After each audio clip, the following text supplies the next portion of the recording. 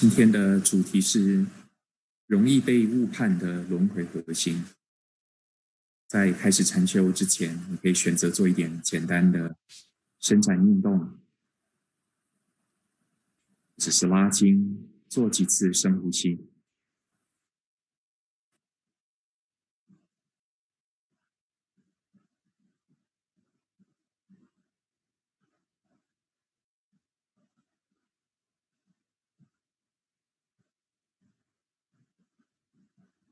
你将自己的注意力从玉摊的活动的状态调整到远离或者是知足、正知正念，那个过程它往往伴随着一个具体的触感。触感它有可能是血压降低的感觉，可能是缓冲的感觉。去熟悉那个过程，认清楚那个过程。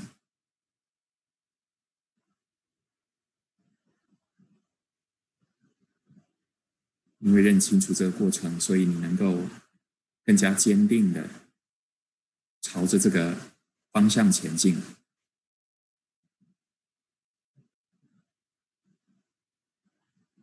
你可以选择把你的注意力，好像。像是那个呼吸，它在按摩着身心，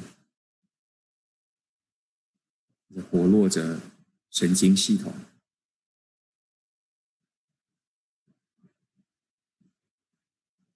来帮助你更加敏感的能够觉察得到，有可能隐藏在身内的紧张、紧绷、担忧。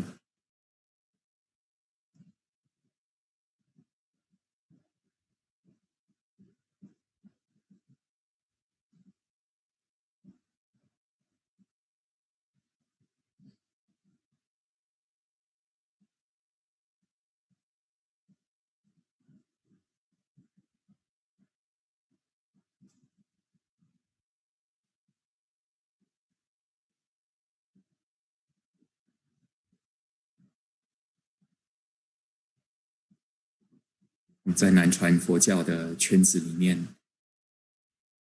经常听到所谓的“实观如实观”这样的修行的方法，经常听到如何在面对境界的时候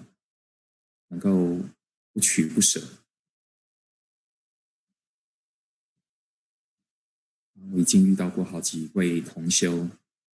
他们都提起到这种不取不舍，这种在遇到一切境界都能够保持着觉知这样的心，是修行的目标。但是这样的说法是值得商榷的。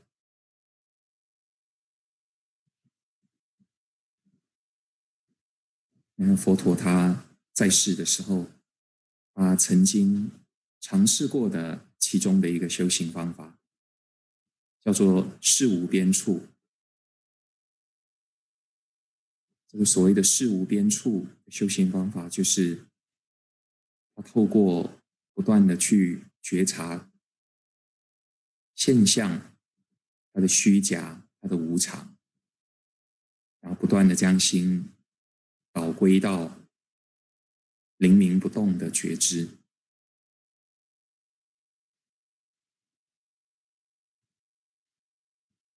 很多的人有这样的一个特殊的体验，有过这种在面临着不同的境界，仍然如如不动的灵明觉知。我们很容易下的一个结论就是，这个就是了，这个就是。修行的解脱境界。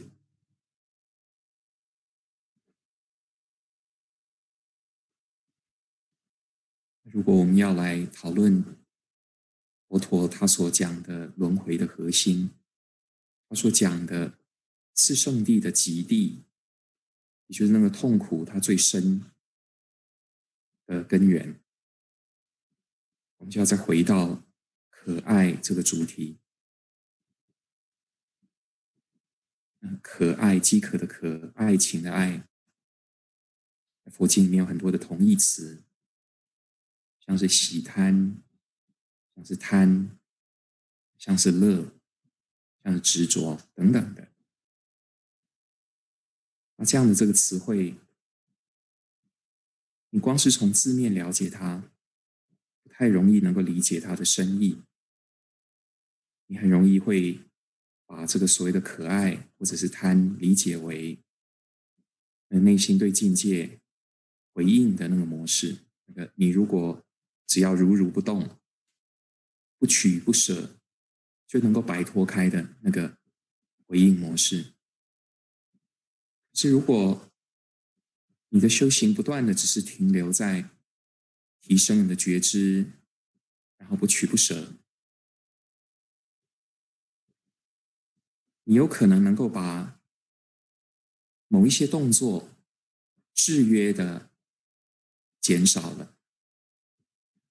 但是实际上藏在心里深处的，那个佛陀他所讲的那个可贪，它仍然是存在的。佛陀他所讲的这个可贪，他所讲的可爱，它像是一个影头。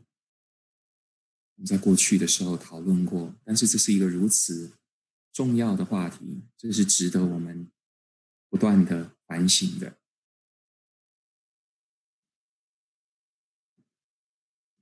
所有的修行的技巧，你要知道怎么样，最后要导归，要去发掘什么叫做可爱，去认识它，去明白发动的时候那个状况，那个感觉。你要知道怎么样的去反制约它，去瓦解它，去克服它，去旁敲侧击，或者是直接的对峙它，慢慢的将它那个根深蒂固的根本松脱。如果你不认识什么叫做可爱，你不认识什么叫做喜贪。你只是一味的在像是南传的圈子里面练习着活在当下，无时观、无分别、无相，这样子的安住于当下。尽管你很有可能会体会到深的定境、内心的寂然。但是那个轮回的核心，那个影头，你实际上是没有去触碰到它的。那我们应该要怎么做呢？过去经常提到的一个讲法就是，你要知道如何把你眼前的技巧对齐到中期的目标、长期的目标。好比说。你活在当下，正知正念的观察，你不是只是无分别的，几乎是没有目标的安住在当下而已。佛陀他所教的正知正念，他的最终是要跟四圣地合彻的。那怎么合彻呢？我们先从四圣地里面的极地。讲极就是集合的集，集就是我们刚刚讲的可爱，也就是说，你修正知正念，最终的导归是要帮助你能够认知什么叫做可爱，这是极地的部分。然后可爱，它是一个如此深细的东西。不是只是你贪财、贪色、贪名、贪利等等的那样的贪而已。佛陀他这里面所讲的可爱，是那个发动内心、让内心向前的基本的驱使力。它这个驱使力里面有一种对于未来的新的境界的一种新奇、一种期盼。一种兴奋，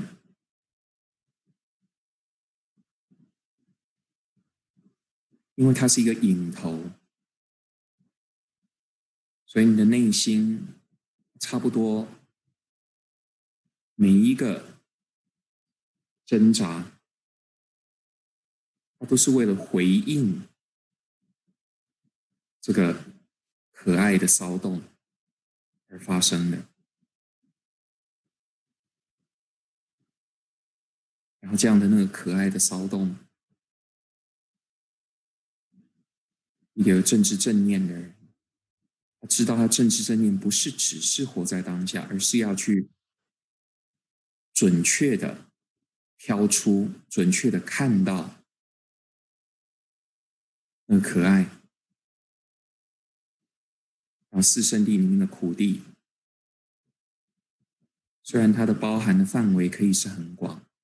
但是最关键的，就是那个跟可爱连结的痛苦，那个心，它因为不断的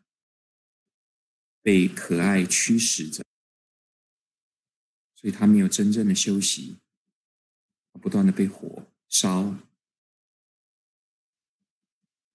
它不断的要去重新。触碰未来，不断的重新跟所谓的未来发生关系。那么所谓的跟未来发生关系，就是他进入了时间之流，去寻觅着新的经验，要去跟新的经验发生关系。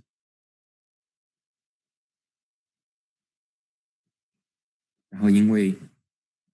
未来的本质它是不可测的。然后你的心是无时不刻的要去重新触碰未来，所以那个本质就是不安，那个本质就是有惶恐。佛陀他所讲的苦，包括了所有一切这种会造成威胁感、造成动荡不安。会破坏会要挟到我们的安逸的，那都是苦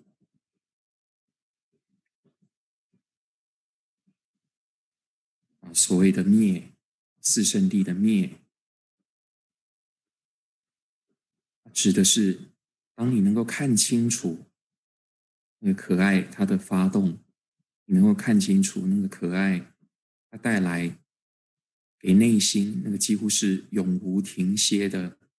骚动，永无停歇的不安，永无停歇的饥渴，四处的去寻觅新的经验，钻到五蕴里面去寻觅新的经验。你对这样的这个状况是警觉的，是越来越不认同的。是越来越不去依附、不去参与的，对身心，它朝向着清凉，朝向了极静，能有一种对于所有身心发生的动作，你不再是以以前那样子，像小孩子一样。兴奋无比的跳进去，充满活力的跳进去。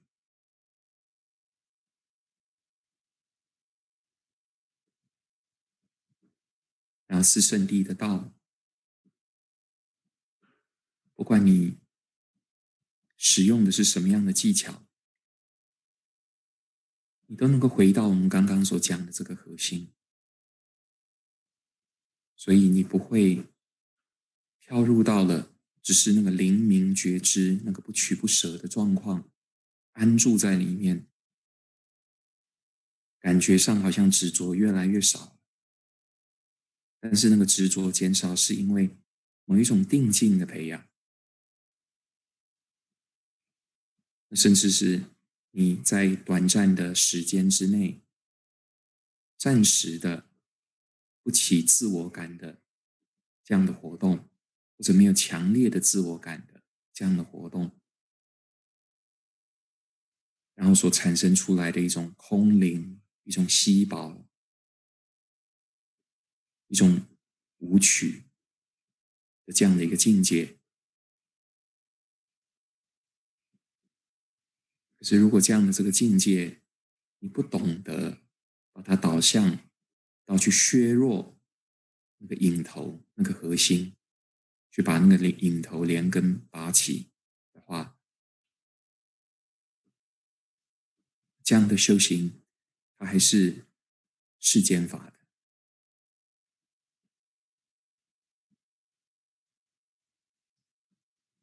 佛陀他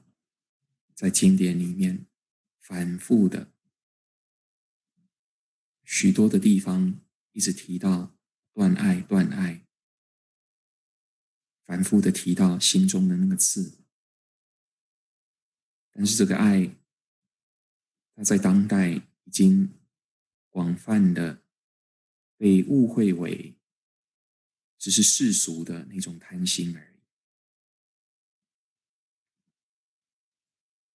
他们不知道佛陀所讲的贪，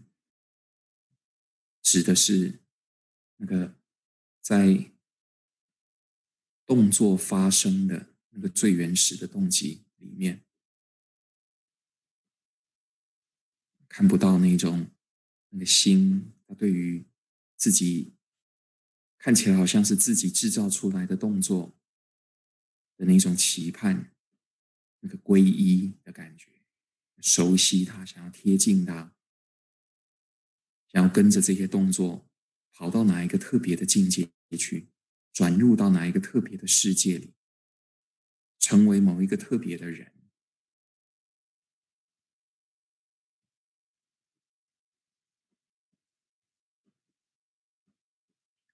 如果你的修行里面记得这个核心议题，那么就算是修一个简单的。像是不净观，你也不是只是在修不净观而已，你是透过不净观在摧毁、在反制约对于美感的引头，对于执着的那种惯性，那你透过不净观。而铲除掉了这个因头，它的那个作用，并不是只是因为你对于人类的躯体没有爱恋的心了，才产生出来的效果。如果只是这样子而已的话，那么你修不净观，对人类的躯体有不净的感觉，也不再爱恋。可是这并不能够保证你对于天界的美女，你对于不在这个不净观范围里面的那些其他的美丽的生命形体，就一定能够去除掉你的贪恋。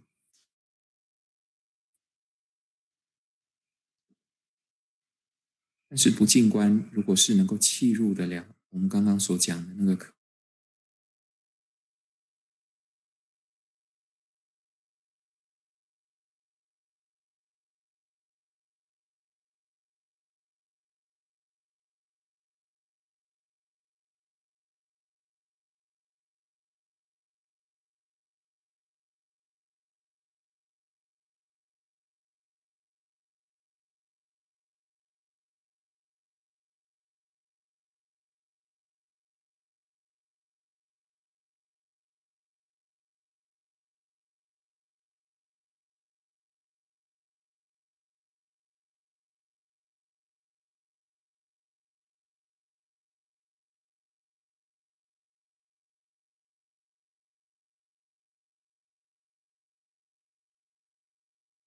摆脱开了瘾头的滋味是什么呢？你的心不再因为那个无边无际、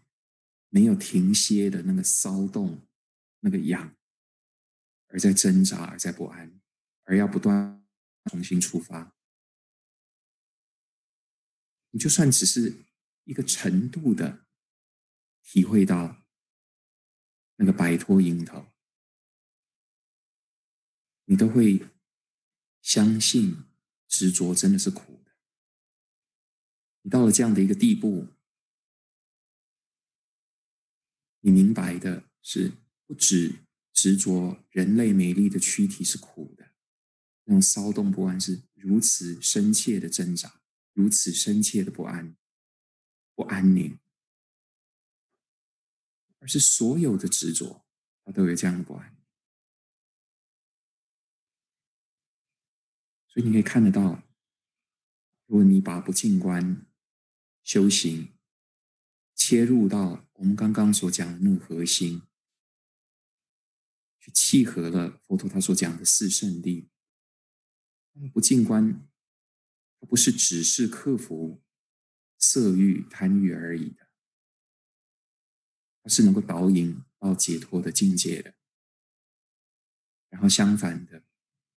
如果你不知道不不进观做这样的导引，去衔接上自胜利的的话，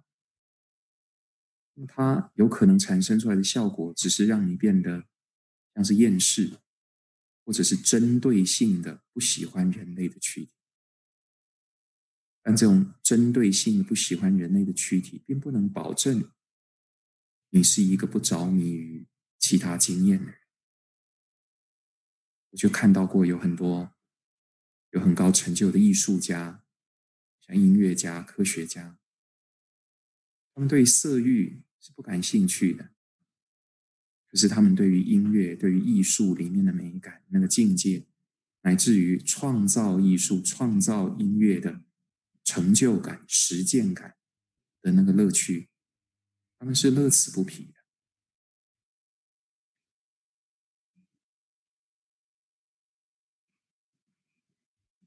我们经常听到一些像是南传佛教界里面的禅修者，他们是多么巨细靡遗的在关照当下。不断的处在那个灵明不昧的政治当中，听起来好像是一个很崇高，然后很难做的。但是如果这些人他们忘失掉了这个修行的基本的核心的的话，他的那一种高度的灵明不昧。就是我们刚刚所讲的，很有可能它就是一个类似事无边处的那样的一个境界。所以你在修行的时候，记得这一点，你要去留意一下你修行所产生出来的那个效果，是不是在对峙着那个核心？然后当那个核心它。的一个程度的降服，当他的骚动的一个程度的化解，那身心的变化，那个滋味是什么？因为你能够具体的看到一种他对于苦的消灭，是远远大过于那个不取不舍的境界所能提供的。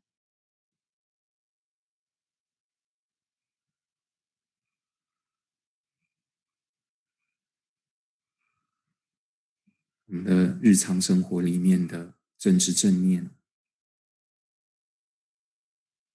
你能够越有效率的、精准的导向所谓的可爱，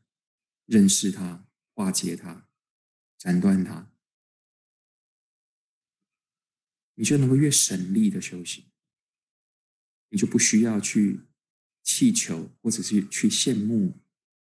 其他的人。听说他们修正知正念，修到晚上都可以不睡觉。听说他们修正知正念，修到当下的那个念头多么快速的生灭，他们都看得到。实际上那样的那个经经验，那样的修行的状况。并不一定就是表示这样的修行人有很大的离苦的力大的。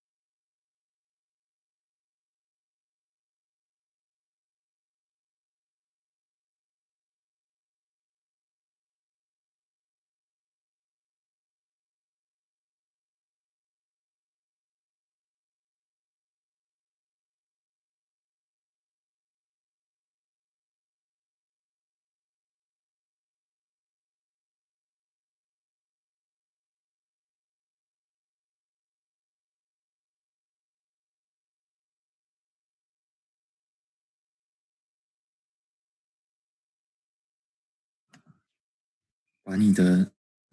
正知正念的力气精准化，知道你在找什么，在看什么，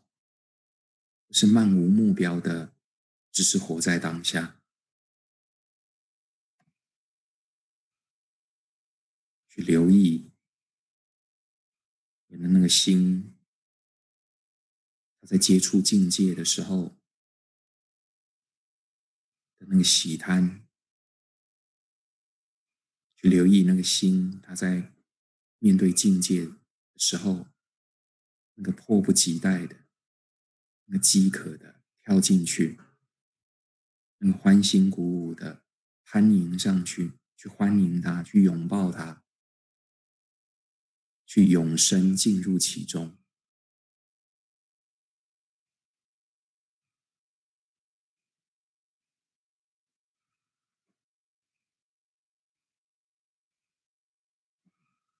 去留意，在日常生活中，你几乎是可以无时不刻看到那个心，它好像是头向前伸着的人，这样子的走路方法，不断的在向前看，在张望着，来探索着，去留意那个。张望着、探索着的那个抑郁，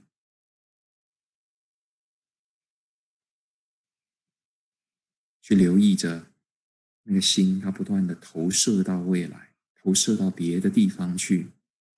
那个抑郁、那个屈迫。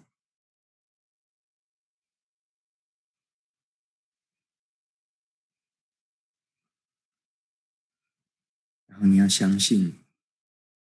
可爱它就像是世间的影头一样，是有得解决的，它不是无边无际的，它是一个透过缘起的动作而延续的一种模式。你每一次你去观察它。警觉它，去克服它，你都在弱化它。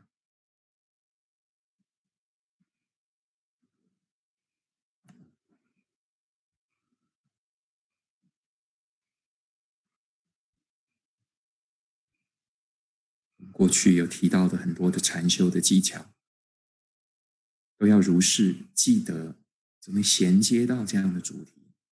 所以举一个例子来讲，我们过去曾经讲过，留意你着急，留意你迫不及待要跑到别的地方，那个迫不及待的感觉，那个投射出去的感觉。当你在做这个功夫的时候，你的目标不是只是让你变得比较从容而已，你的目标是要借由这样的角度，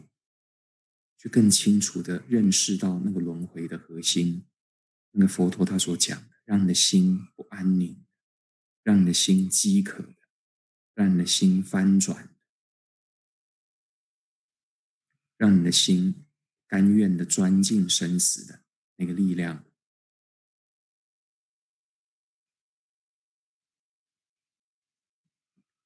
听起来好像是全身复杂的。可是，如果你保持着你的警觉，留心的观察，你会在很多的地方，在小的地方会发现到它。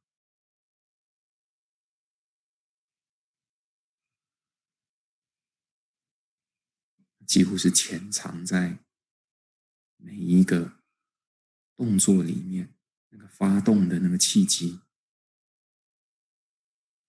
特别是像着急这种压迫感大的活动，特别是像是玉滩这种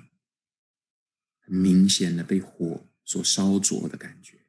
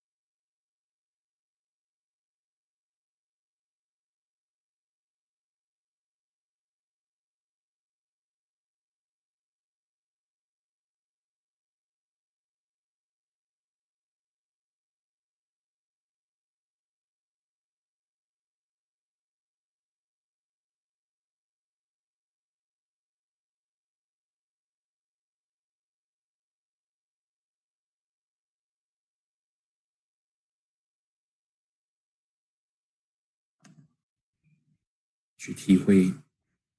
如果这个可爱还没有完全的根除的话，它藏匿在你的内心里面，扎着你的心的肉，好像鞭策着你的心，让你心不断的翻转，不断的寻觅，不断的活动，然后对这个现象，那个心它是乐此不疲的，它是习以为常，不觉得。是有问题的，这是不对的。这种对于这种生细的刺，这个可爱，你会习以为常，你会在这个之中仍然安逸，不知道这是有问题的，不知道这是苦的，这样的情形就叫做无名。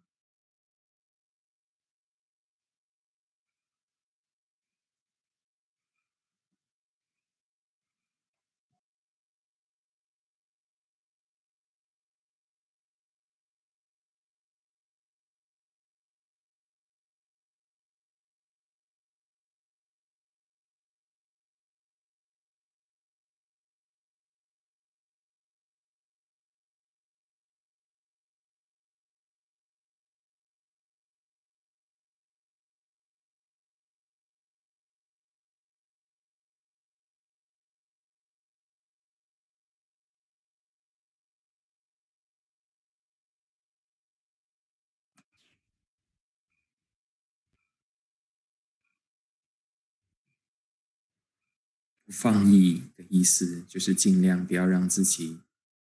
出现无名的状况，不断的保持着警觉，记得你要看的是什么，记得你要对峙的那个影头它是什么，不要在那个活在当下的安静感里面安逸了、混沌了、发呆了。活在当下，那个不取不舍的那个滋味，是如此的空灵，很容易让人在这个里面忘失了他修行的目标，忘失了什么叫做如理作意。你的注意力应该正确导向的地方，你别忘了，你注意力导向的地方是四圣地，别忘了要看着。那痛苦的那个根，就是那么可爱。你别忘了，要去看你的心，他的当下，甚至是在他还怀抱着这个爱，无时不刻的挣扎，无时不刻的翻腾，无时不刻的被那个刺所戳弄着。记得你要看这个，你别忘了，在活在当下的时候，你要去看什么叫做灭，那个灭的方向是什么？你要知道那个可爱，它消灭了一点点，缓解了一点点，当你克服它，警觉它。你的那个身心的那个清凉度明显了一点点，那个焦躁、那个翻腾减少了一点点。你要知道要看着，你要知道把你的道，把你所使用的那个技巧，都是导向这个方向。不要只是活在无相中，不要只是活在无分别中。无分别的作用，是为了要你放下没有必要的分别，并不是要你真的发呆。那个重要的分别，你是应该要一直在心中的。苦的根在哪里？